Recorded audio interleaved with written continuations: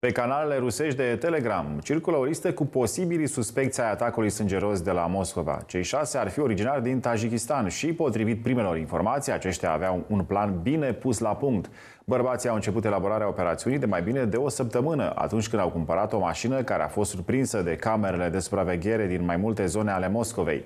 Noile informații vin la mai bine de 12 ore de când gruparea ISIS a revendicat atacul printr-un mesaj publicat pe Telegram, prin care a transmis că vărsarea de sânge a fost declanșată de membrii săi.